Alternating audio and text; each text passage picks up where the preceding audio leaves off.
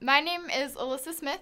Um, I am a student in civil engineering here at Michigan Tech, and I chose to study abroad in Bilbao, Spain, which is in the northern part of Spain in the Basque Country. I chose to study abroad in Spain in order to complete my international minor in Spanish, and I ended up doing an entire summer in Spain in um, Bilbao.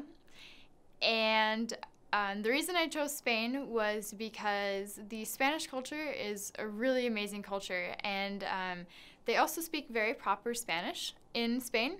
So, for students like me who had only had in class training, it was really nice because I could actually speak the language that, that the population, the rest of the population was speaking.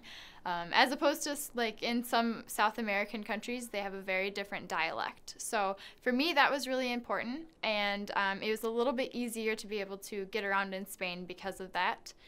And um, my experience in Spain was absolutely life changing, and studying abroad was one of the best experiences in my entire life.